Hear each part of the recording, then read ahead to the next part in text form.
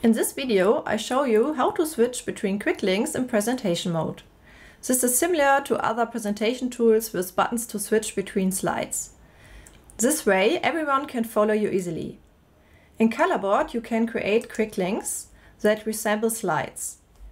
When you turn on presentation mode down here, you'll see two arrow buttons in the bottom left corner of Collaboard that you can use to switch between links.